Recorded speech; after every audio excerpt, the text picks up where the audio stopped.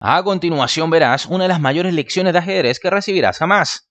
Es una partida donde aprenderemos la importancia del desarrollo de la apertura, pero también de cómo aplicar un juego veloz y dinámico para castigar con dureza a nuestros rivales si estos tardan demasiado en consolidar su propia posición.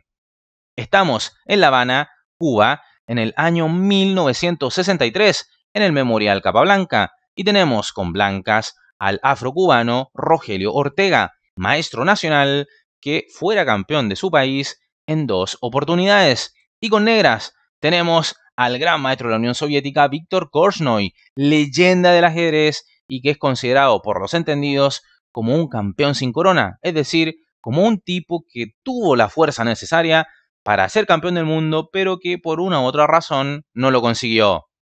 Prepárate entonces para ver una partida inolvidable, pero antes de aquello, recordarte que en nuestro sitio web hay una serie de cursos esperando por ti. Bien, sin más, comencemos.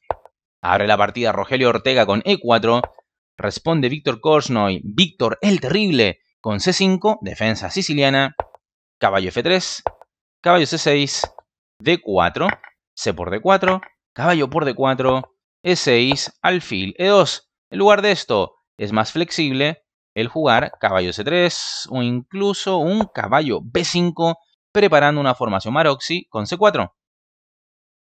Pero bueno, alfil E2 lo jugado en la partida, caballo F6, caballo por C6. Esto refuerza el centro enemigo sin razón aparente.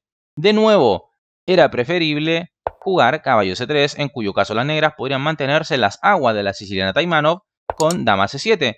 O bien, tras un D6, llevaría esto a una variante Scheveningen. Pero bueno, caballo por C6 lo jugado a la partida, B por C6, alfil de 3. Curiosamente, esta es sugerencia de máquina. Y digo curiosamente porque se ve raro tener que mover una misma pieza dos veces en la apertura, ¿verdad? Quizás es una jugada positiva porque el alfil comienza a mirar desde ya a un futuro enroque de las negras. Sin embargo, aquí un caballo de 2 hubiera lucido más normal. Y nota que el caballo está en D2 y no en C3 a fin de evitar alguna molesta clavada como alfil B4, por ejemplo. Pero bueno, en la partida, Rogelio Ortega ha jugado alfil D3, sigue Víctor Korsnoy con D5, las negras comienzan a luchar por el centro. E por D5, nueva imprecisión de las blancas, que con esto ceden el centro a su rival. Acá debió jugar Ortega algo como caballo de 2.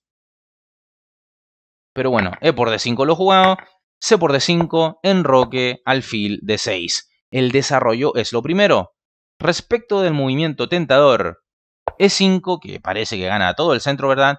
Esto sería prematuro en vista de alfil G5, alfil E7 y ahora una jugada notable, alfil B5 jaque, que llevaría a la respuesta alfil D7 y luego de alfil por F6, alfil por F6 y dama por D5, las blancas tendrían peón de ventaja.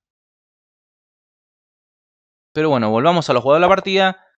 No cayendo en la tentación Víctor de jugar E5, sino que alfil D6 que apunta sobre el punto de H2 y acelera la posibilidad de poder enrocar, ¿verdad? Bueno, sigue el juego con caballo de 2, enroque, torre 1, E5. Por supuesto, los peones centrales se ponen en marcha con gran efecto. Por ello he marcado como buena esta jugada. Sigue esto con caballo F1, E4, alfil E2, D4. Gracias a motivos tácticos, los peones se ubican ya en la cuarta fila. Obviamente el peón de D4 está envenenado y por ello he marcado como buena esta jugada. Sigue la partida con caballo G3. Como dije, el peón de D4 está envenenado, ya que si dama por D4, entonces alfil por H2 jaque y a la siguiente, la dama blanca sería atrapada. Así es que caballo G3 es lo que juega el maestro nacional cubano. El gran maestro soviético responde con dama A5. Esta vez una simple táctica ayuda a las negras a situar su dama en la casilla de 5, desde donde apoyará a sus dos peones centrales usándolos al mismo tiempo como escudo. Ahora, ¿qué es lo que juega el blanco? ¿Puede capturar en D4? Bueno, Rogelio juega alfil de 2 y es que claro, si se jugaba dama por D4, entonces dama por E1 jaque, ¿verdad? Así es que alfil de 2, Sigue esto con dama d5, dama c1, alfil b7 montando la siempre temible batería, dama más alfil. La partida prosigue con alfil f4 y ahora d3. Nota que aquí un e3 no sería del todo efectivo por la réplica alfil f3 y obviamente se generarían algunas cuantas simplificaciones, todas útiles para el bando que se defiende, que en este caso es el de las blancas, ¿verdad? Volvamos a los juegos de la partida. D3. Sigue esto con C por D3. Y ahora E3. Buena jugada. Esto no solo amenaza a mate en G2, sino que prepara un recurso espectacular contra el fil F3, que de hecho es lo que juega Ortega. Pero Korsnoy ya tiene todo calculado y juega E por F2 jaque. Gracias a la intermedia jugada de 3 realizada un par de movimientos atrás, las negras consiguieron despejar la diagonal G1 a 7 hacia el rey enemigo. La partida continúa con rey por F2 y ahora caballo G4 jaque, una nueva jugada precisa. En cambio, si se jugaba un alfil C5 jaque, entonces alfil E3 y luego de caballo G4 rey G1 y notarás que las blancas sí podrían defenderse. Volvamos a los jugados de la partida. El preciso caballo G4 jaque de Korsnoy. Ortega responde con rey G1. Y es que si alfil por G4, entonces dama por G2 jaque, rey E3, alfil por F4 jaque para extraer al rey, dejarlo más expuesto, seguiría rey por F4, ahora dama F2 jaque y el rey blanco sucumbiría en pocas jugadas más. Es por ello que, luego de este caballo G4 jaque, Ortega ha jugado rey G1. Sigue Korsnoy con dama de 4 jaque, alfil E3, caballo por E3, dama por E3, dama por E3 jaque, torre por E3, alfil C5. Finalmente, las negras ganarán una calidad y llevarán la batalla a un final claramente superior para ellas. Sigue el juego con alfil por B7, alfil por E3 jaque, rey H1, torre a B8, alfil F3, torre por B2, caballo F5, alfil C5.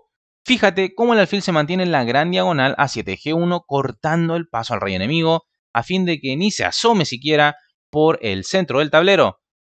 Entonces, para evitar aquello, o más bien para que el alfil del rival no tenga tanta influencia en el juego, Ortega juega D4, Korsnoy responde con alfil A3, H4, torre D8, D5, G6, caballo E3, torre B4 atacando al peón de H4, caballo G4, H5, caballo H2, torre por H4, G3, torre D4, torre B1, torre C8, torre B3, amenazando al alfil, torre D2, cómete el alfil, parece decir Víctor a Rogelio, ¿verdad? Sigue esto con caballo F1 atacando la torre. Obviamente no. Torre por A3, por torre C1 jaque, caballo F1 y torre por F1 jaque mate. Así pues, caballo F1 lo jugado por Ortega, Korsnoy torre C1 y tras esto Rogelio Ortega abandona la partida. A ver, si alfil G2, cuidando de su caballo amenazado, entonces torre por A2. Y claro, no habría mate imparable, pero las blancas estarían completamente tiesas, inmovilizadas, con cero posibilidad de contrajuego. Sería cuestión de tiempo para verla sucumbir ante los leves pero notorios progresos de las negras. Buen triunfo de Korsnoy enseñándonos cómo castigar los errores de apertura del rival mediante un juego veloz y dinámico. ¿Qué te ha parecido la partida? Deja tu opinión en la bandeja de comentarios. Espero hayas disfrutado de esta partida tanto como yo y si es así, apoya este video con tu like, suscríbete al canal, si aún no lo has hecho por supuesto invita a más personas a conocer nuestro canal y suscribirse. Por supuesto agradecer a los miembros del canal ya que gracias a ellos es posible subir contenido de manera seguida al canal. Y como siempre me despido enviándote un fuerte y caluroso abrazo. Nos estamos viendo en el siguiente video. Hasta luego.